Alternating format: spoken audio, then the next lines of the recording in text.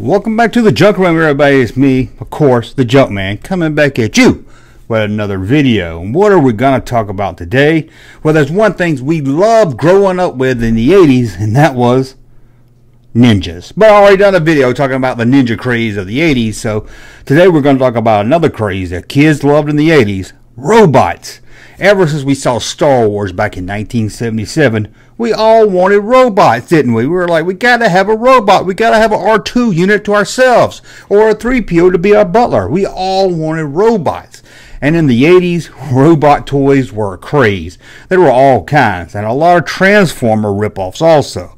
Now, for this list of some of the best robot toys of the 80s, I'm trying not to do. I, I kept looking, I found so many of them that was just Transformer ripoffs.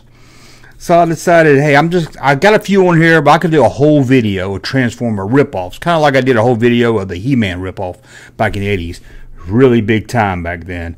Um, but these robots here are mostly from the 80s. There's one from the 90s and a couple of them from the late 70s, but I figured they could fit right in. Um, now, we're going to start at the top of the list. A more personal one than the rest of these on the list for me. And we're talking Verbot.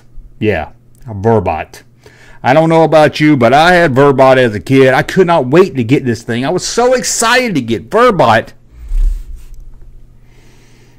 It was a piece of crap. I've talked about it in videos before, and I'll talk about it again in videos, I'm sure. It was a piece of crap. It was a piece of crap. It, and on TV, they made it look so cool. Have Verbot, Verbot, Verbot, whatever his name is, going to the refrigerator, getting a Coke, bringing it to you. You would get this thing, you had to program it with your voice. It never recognized your voice. He was like, Verbot, walk, walk, Verbot, walk, walk. It's kind of like when I'm talking to uh, Alexa today or my Siri. Just Maybe just to understand my hick accent. But uh, that's Verbot. We got that out of the way. I had to talk about it. There's no way I could do a robot video without talking about that. So let's pull up some pictures of some more more action figure style robots. Let's start back in 1977 with this robot right here. Fantastic Zana, Zon, Zonica, Z-I-O-N-I-C. I don't know how to say it. Robot. Let's take a look at it. Here's the Fantasy Die-Cast Metal Robot. I'm not really sure who released this one. It has a big T logo. That's about all I could find out and it was released in 1977. And it has kind of a Shogun Warriors appeal to it. Seems like that's the target audience they were going for. Even got something you do with the hand, like a Shogun Warrior. But yeah, it seems like they're really trying to copy the craze of Shogun Warriors at the time. How about a robot that's also a TV that would flip over? Yep, they made that also. Here you go. The flip over TV robot released in 1993. Like I said, this is the one from the 90s, although it looks very 80s, so I counted it also. I don't remember this thing. I don't know why it's called a TV robot, but apparently it's called a TV robot. I guess because it has a little screen on the front that looks like a TV, and the robot would actually do little flips and everything once you put your two AA batteries on the inside. Now, here's a very strange one from 1983. Max Space Robots. What a stupid name. And these are kind of like a human that's inbred with some robot technology, I guess. Take a look. Max Space Robots. I'm not really sure what these are, but this is probably trying to capture some. But this one here looks kind of like an early edition of Buzz Lightyear. But it's not Buzz Lightyear, it's Max K Space Robots.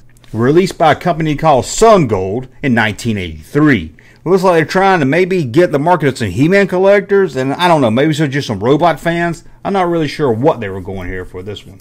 Now, before we look at another robot, it's time for me to do a shameless plug. Oh, here he is, trying to sell some shirts again. And you're right, trying to sell some shirts again.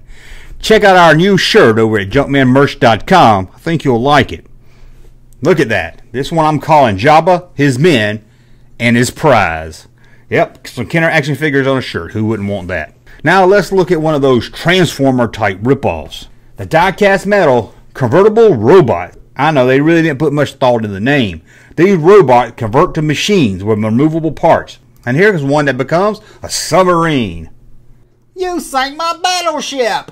This was released by, I don't know how to say this one, J A N E S H Gansh, I don't know, something Gasha imports from 1985. And it's clear, without a doubt, they're trying to capture some of that Transformer market money. Or maybe GoBots. Now there's two things we love when it comes to action figures. Action figures that are based on robots, and action figures that are really just rubber with a wire inside of it. You know what I'm talking about. Bendy action figures. I said it once before, I'll say it again. I should do a video about the stupid bendy type action figures. We call them Bend-Ems you know, they did some back in the day when Star Wars first started coming back to toy stores. They were horrible. I loved them. Bought every one I could find, even the gift boxes in the carrying case. Anyway, let's check out these Bend-Ems robot figures. Mighty Bendabots. Again, these people come up with these names really didn't spend much time. They said, what should we call these robots? Let's see, they're robots and they're Ben. They're warriors. They like to fight. Let's just call Mighty Bendabots Fighting Robot Warriors. Whew, that's a mouthful. This was released by a company called M Toys, or you may know it better as Marty Toys. Who's Marty? I'm not really sure, but it was released in 1985. What a popular year for a kid named Marty. Now let's take another look at one of those Transformer robot ripoffs. I know, like I said, I could do a whole video on these, and maybe I should, but this one is just so goofy and silly I had to talk about. It. This one here is called the Mighty Cut. I'm not even going to try to pronounce it. I'm going to call it the Changeable Robot. Released also by Marty Toys in 1984. As you can see, you're trying to cash in on some Transformer money. This one here looks like it transforms from a robot into some kind of big, huge battleship that looks like something you might see on Star Blazers. And that's the only reason I wanted to show this toy, so I can have an excuse to say the word Star Blazers. What a great cartoon. Now, there was ever a robot toy that looked like you would have bought it at a Revco, this is going to be it right here. This was released in 1984, and it looks like one of the cheapest toys I've ever seen. Check it out.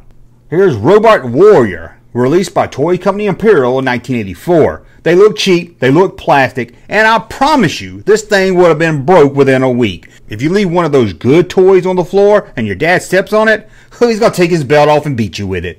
But if he steps on this one, that cheap plastic's just gonna crack and he's gonna throw it in the trash. What good is a toy if you can't upset your pop with it? Now, let's talk about robots and bugs. Bugbots, released by Buddy L in 1984. These are wind up robot bugs. That's right, you wind them up and let them bug your sister. Because sisters hate bugs.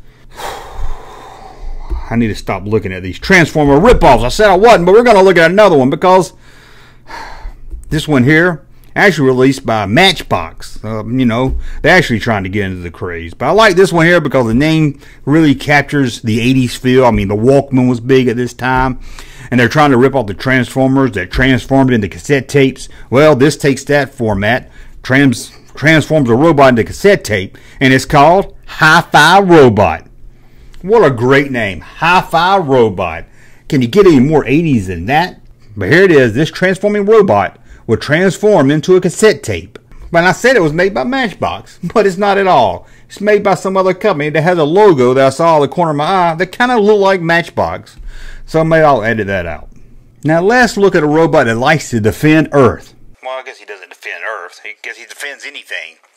This is made by a toy company called Maxwell, and although I couldn't find a year, I'm going to say it's late 70s, early 80s by the look of it. Check this one out. Maxwell's Almighty Defender Robot. Now this one here looks like he's trying to capture maybe some of that audience that also like Shogun Warriors or maybe the Micronauts. Maybe that's what they're trying to go for here. In the late 70s, some Japanese animation cartoon stuff was really big. And this is one of the figures that was trying to capitalize on that. Maxwell Toys, again, I think released in the late 70s, early 80s. That's just a guess. Now, before we look at this weird robot from 1977, here's some exciting news.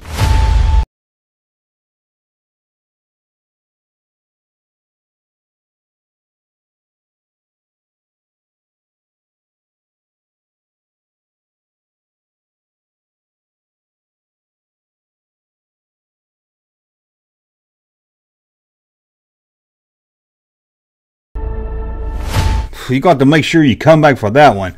Now let's look at probably the strangest robots on this whole list. These are, I, I don't know what to say about these. Just take a look. These worm-like space robots are called Space Robots, released by Chem Toys. Again, I hope I'm pronouncing that right. C-H-E-M-T-O-Y, Chem Toys, in 1977. As you know, they're trying to capture some of those Star Wars sales. Anything science fiction, anything robots, anything space themed was hot, and these hit the stores before Kenner Star Wars figures. These are really weird looking robots. They've got really long legs and arms, and they're bendy. They bend at the elbow, the hand twist, the head twist, the knees bend, the foot twist, and it has a picture of a robot on the card saying, Hey, what's up? I don't know. These are just really strange looking. There's no way we're going to do a video talking about generic robots from the 80s without talking about the generic king of them all, Remco. Here's Remco's Robot Defenders. And again, they look cheap. But it's Remco. What do you expect? If it didn't look cheap and it was made by Remco, I would be very disappointed. But here they are. They basically all kind of look alike, just different colors and maybe a slight different here and there but they're just cheap looking robots. Not really much more I can add to that. Now take a child robot toy and mix it with something all kids love. Playing roulette. Mix them together. What do you get? Yep, a roulette robot toy. Roulette robot for ages 5 and up. Look, Mom, I just put all my allowance money on black. But there's other gambling games made in the robots also. I mean, here you have Dice Box Robot. Now, what's better than buying a robot toy and you getting one robot? What's buying a robot toy and you get a bunch of robots for the price of one? Check out these toys. Arco's 1985 Robot Zone. Robot companionability. I have my. I don't know. I don't. I'm, I'm not even going to try that one. But here you get a big robot in the center, two smaller robots, a jetpack. I guess that's what it is, and some kind of weapon accessories. Now, one more time, a Transformer ripoff because this one blew my mind. Now, I remember probably around 1987, I was in middle school. I wasn't really into Transformers, but everybody else at school was. And I can remember these kids showing up with this pen that was a Transformer pen. And I was like, where did you get that? I checked Walmart, checked Zayres, I checked Revco, Ames, wherever you could buy something, I would check it out. Even grocery stores, wherever I went, I was looking for these pens, and no one would actually tell me where to get them at. And it was like once you got one, you were so cool, and it was like a little secret at school. They didn't want to tell anybody where they got them because it meant you were in the cool club. I wasn't always in the cool club, but hey, at least I wasn't in the dork nerdy club either. Believe it or not, I wasn't. It was not in middle school. I finally found a friend that told me where to get this. He said, go to Chichester's. And I said, what the hell is a Chichester? Well, apparently Chichester's is a store that sold medical supplies that was in my town. I think they sold some other things, but they were known for going to buy a wheelchair, medical supplies. But by the counter, they had these pens, and I could not find these for years. I used to search on Google, transforming pen, transforming pencil, and I found one that I thought was it, and I was like, that that's not what I remember it looking like. Then I found this just today, and I was like, that's it robot pen. Check it out. Here we go, ages five and up. Now, I don't know why kids in middle school had this. I don't know why it was such a thing, but it was a lot of fun when you were sitting in class and teacher wanted to teach you about something, history or algebra or something you didn't care about. You could pull out your robot, convert it. You could pull out your robot pen, and your pen could become a robot. Whew, I wonder what the chances of finding one of these are today. I don't know why they put that starburst saying new. You think anybody walked into the store and said, "Oh, that's the old robot pen"? To me, that's the only one I've ever seen. I don't even think this thing came in other colors. Now let's look at one more. And this one comes from Tommy, Tama, Tama. Y'all told me I said it wrong when I said Tommy's got two M's. T-O-M-Y. I never knew how to pronounce that one either. Tama, Tommy, Tom, Tama, Tommy. I, I don't. I give up. You're going to tell me I'm wrong no matter what I say in the comments below. But this is a set of wind-up robots called Rescue Robots, released in 1978, right there in the midst of Star Wars fever. It's like having a wind up R2 if you never could get that one that wasn't released in America. Walk, walk, wacky, wind up, rescue robot. Hold on, take that picture down. Why show you a picture when I can show you the real thing? That's right, I have a, what's it called? Rascal Robot. Some one of you guys out there sent me this, and it sits on top of my Death Star over there a lot. And a lot of people pointed out saying, "Hey, I've had that little robot. Or what is that little robot?" Well, if you didn't know, now you know. 1978. What is it? Rascal Robot. We're gonna wind this thing up here. I know you won't be able to see it. I'll get the I'll get a camera to focus on that a little better where I'll wind it across the room. And I will say I want to thank you for watching this video. Let me know about some robot toys you had, even if it wasn't in the 80s, 90s, 2000s. Let me know about some robot toys you liked. And as always, thumb up so you like my comment. Thumb so I know you like my video. Subscribe to the channel. And we'll talk again soon. It's not really going. Go! Doesn't really walk good. Go! Could be here all day. Go! Go!